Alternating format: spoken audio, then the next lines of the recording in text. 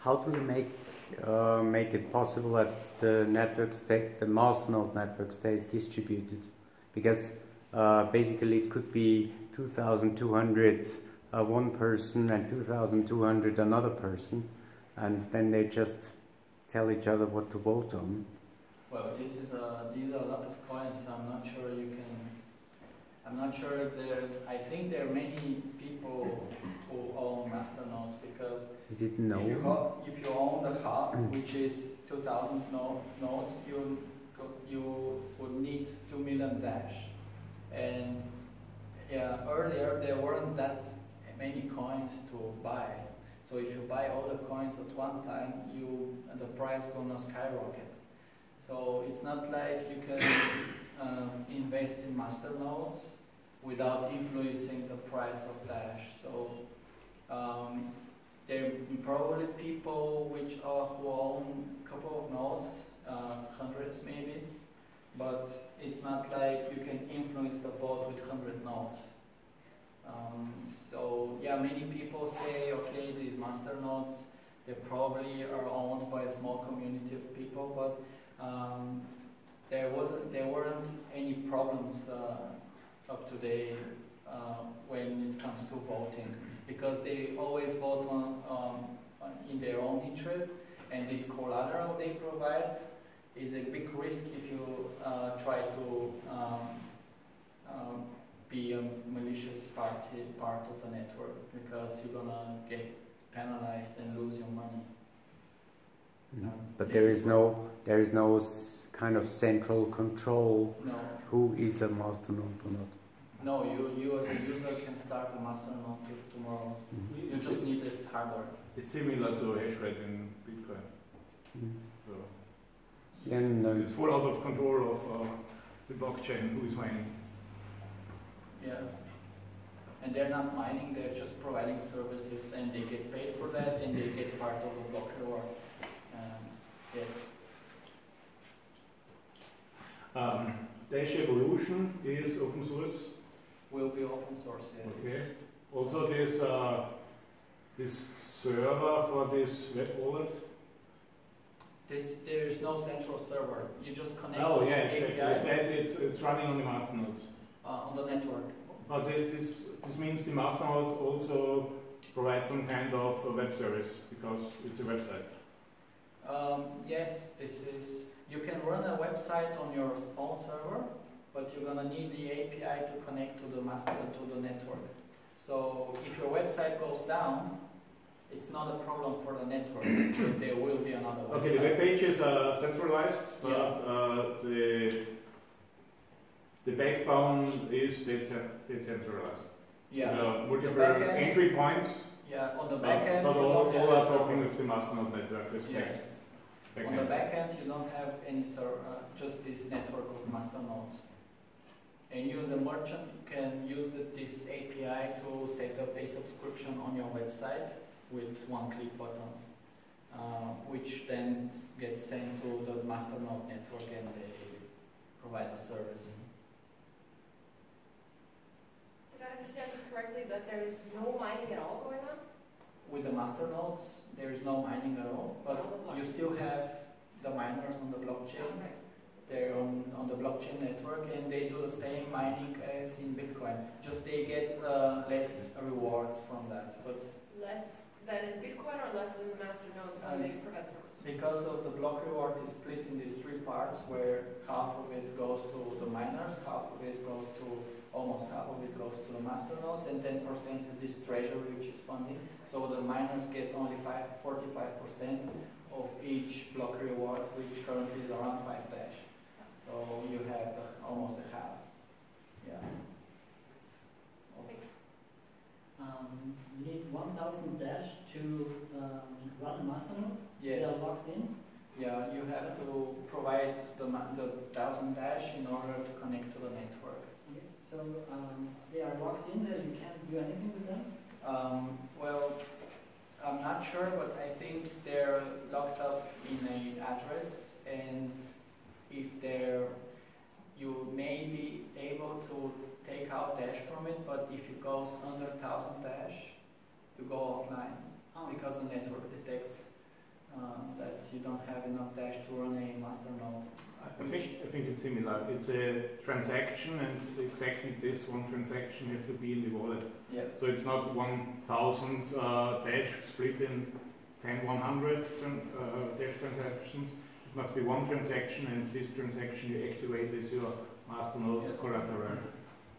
You just provide your master node signature with the uh, address you send the money, and the network verifies your server, and you, you go online. So um, they they with this I mentioned this savings account earlier because they ask people how how could you keep your master node always online if so many people are providing funds for that? And the devs are going to implement probably a thres- threshold of let's say 70% at least of this dash has have to be available so your master nodes could stay online even if uh, users start uh, moving out their money from their savings accounts which are these master node shares um, It's Yeah. mechanic. But it's also running decentralized, wh- pure, pure on the, based on the masternode network. yes. There's savings. savings account yeah this is um, running on the on the blockchain as well And uh, who is who is holding these coins then? which coins this is The, the coins you deposit on savings, who is holding them? Uh, the network. It's a network address. Uh, it's uh, dedicated to the master nodes. So uh, it's on the blockchain. Your money stays on the blockchain. It's It stays on my address. Um, well, I'm not hundred percent sure because I've never used it, but Hmm. I, I, um, I think I've heard they send the money to an address and But, they keep but it then it, it's not trustless. Or who- who- how I'm sure I get it ever back? If, if my money leave my wallet yeah. to another address where I have, have no control of it, it's against the So idea of blockchain. Yeah, I'm not hundred percent sure about this because I couldn't research it, so, um, I, think some kind of uh, lock the transaction makes sense, yeah? yeah. So as, as long as this saving account is active, my transaction is locked. If, if it goes inactive It or if be I stop saving, then I It may be locked on an address which you can control the private key of it. Um, may, I'm, I'm not sure. I don't wanna, um, get false statements uh, on that. Or is a multi-signature may be used for it? Um, there, probably it's used with this um, uh, Masternode shares. There are third parties right now where you can buy Masternode shares, but Yeah, but It's it's out, basically a out of third party. blockchain, yeah. yeah, and, and it's I would say it's not that trusted. You can't trust this because you know, it's No, no. hosted on a server. There was a question. Does this already exist, the, the saving, or is this part of the? This uh, will be evolution? part of the evolution Okay, so- update uh, at the end of the year. Mm. Uh, how is the development process of the master nodes set up? I assume it's open source, but uh, if they have a new version, is there an incubation phase until it goes online? Or who says now, okay, this is the new version of the master node? Uh, the, the core team, they, they provide the, the new software and uh, the, the, the master nodes have to update. Um, so in January, they had to update in order to stay online in the network. So um, there wasn't there, there wasn't that uh, this timeline time frame where you can wait until everybody goes online. So uh, Yes, you uh, get the software from the devs and you update your master node in order to stay online up to date with the latest software. Uh, yes, uh, who is reviewing the source of the master team, uh, of the core team? Uh, it's on GitHub, so it's open source. Okay, yeah, that was the first one. And then I have a frozen version, and then there's an incubation phase until the version goes online, or? Um, there is, they, they, they do it, they have, I think, this testnet, which is not uh, the blockchain testnet, but But the new version needs to be voted on by the masternodes, or can they just Yeah. say say that's a new version. No, they vote on in the new version, uh, and the masternodes vote on the new version. Well, you don't have to vote on each software update because you vote only on, on this direction of development by the team. In order to go to, to reach this evolution part of Dash, you need certain updates and they don't have to provide each time a proposal to the network to do these updates. The nodes, uh, the master nodes know this software is needed for this future development of Dash evolution, so we need to deploy this software on the network in order to reach that state. So there is no real strict review of the code in that sense, No. right? So if the development decides this is a new version and it's a minor change, they can just push it to the network.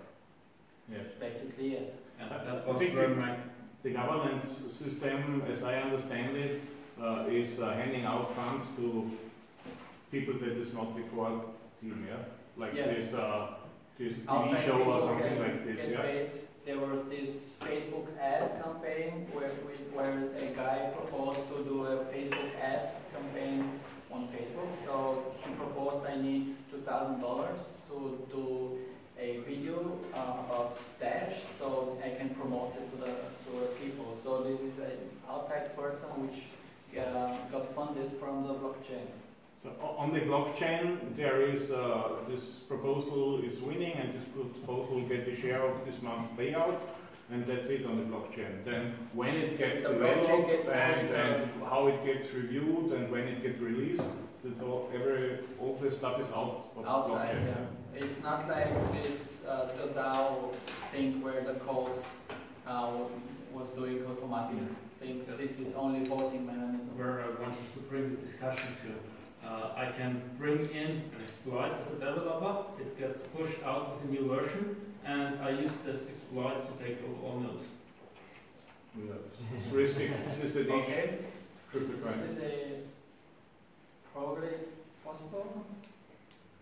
Or yeah, they, it's open source, so you have to go through all the checks uh, before people deploy that on the network, and nobody has to nobody has to see that. Uh, Yeah, or you're part of the code. That's why I asked But for the incubation as phase a- until you have the new version.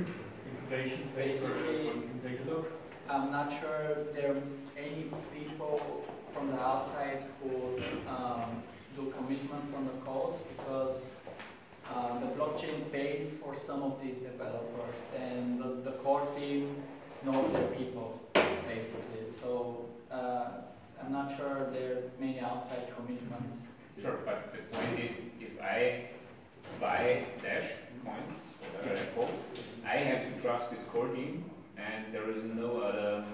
Well, if Well, the core team basically does not. want to do something bad, then I'm lost. Kind of. Basically not because you still have a blockchain on, on the back end, which uh, keeps your funds safe. But may, it may happen that some of your services you're using gets compromised, but um, um, I, I think this percentage is very low. But still you have the blockchain, so all your funds are safe when you keep them in your um, address.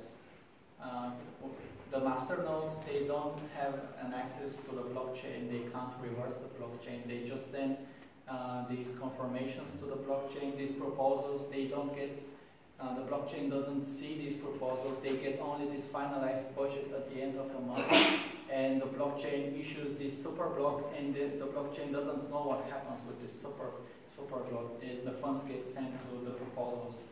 So still you have this security, you can't compromise the, the network. And still, if somebody catches you, you lose all your money, which in the future won't be 70,000, it will be much more money, I think. So it, will be very risky to try something like that. And because of these masternode quorums, not the whole network is um, providing services to everybody, but randomly selected nodes provide services to users. So uh, it's not like you can attack uh, a person instantly. So yeah, uh, it's a not not a blockchain. This masternode network. It's a peer-to-peer network which communicates with the blockchain.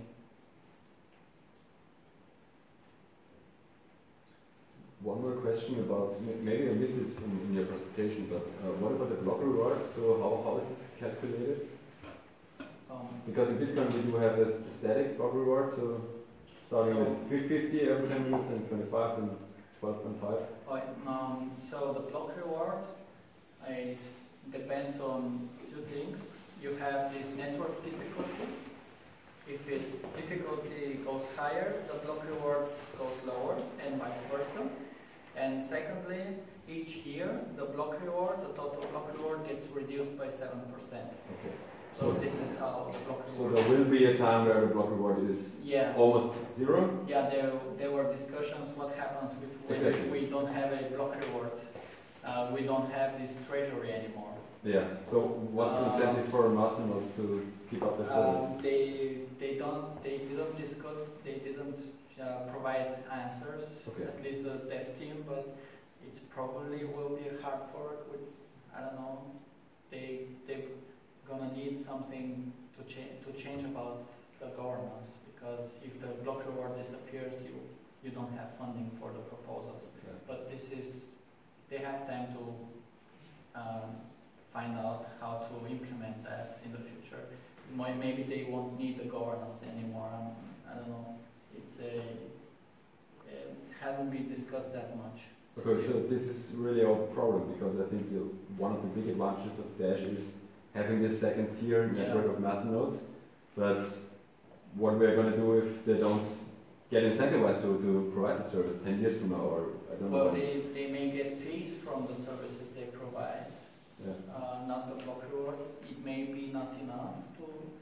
So, well, there's a lot of time in front of them. I, I think the block reward will stop in about 100 years. Okay. So they have time to make a decision on that. So, yes. Is there anything similar to smart contracts? Well, no, they are not deploying a like EVM, uh, virtual uh, machine like Ethereum to run smart contracts. They're gonna have these basic scripts where you can subscribe to a service, probably. Um, but smart contracts are not included in the future plans for now. Why do I need borrowing services then? Well, you may want those services? You may want the, the masternode network to access the information from the outside world, uh, not to provide it to the blockchain but to the users. So you don't have to rely on a third party sending you information. So you can um, connect to, to the outside world and get your information and um, distribute it around the network. Okay. And I have one question. Yeah. How is it with power consumption? As we know, is the common problem with blockchain that the power consumption will be unsustainable in long term. Well, well, they're still not discussing that. Uh, you're talking about the proof of work Yeah. uh, part. Um, well, Dash is not implementing yet a proof of stake uh, protocol. So then they won't address these issues in, in the future, at least not in the next one or two years. They're, they're gonna use uh, this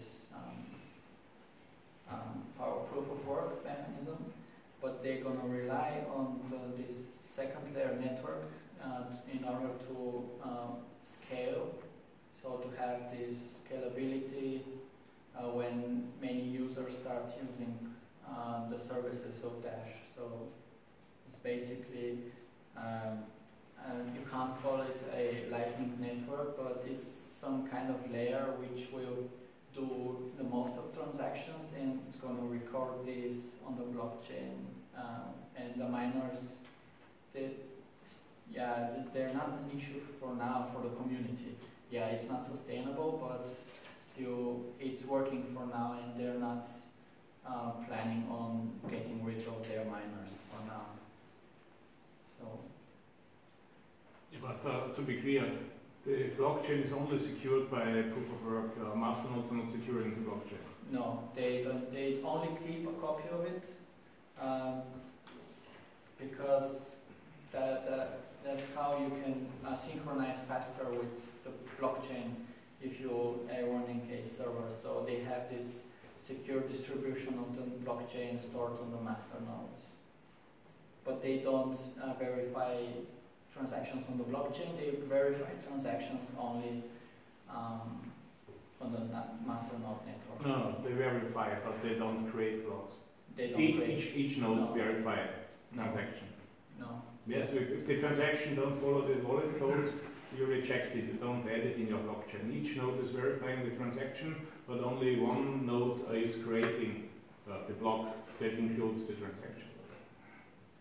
Or then random nodes.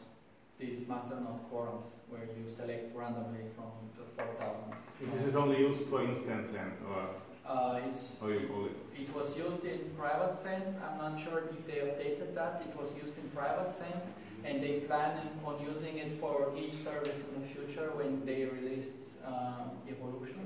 Okay, maybe. So, because of scalability uh, reasons, you can't ver- each node you can't uh, rely on all master nodes to verify each transaction happening on this network because this is gonna slow down things.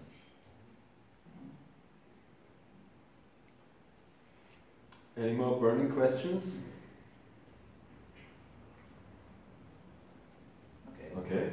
So thank you very much. Thank you very much for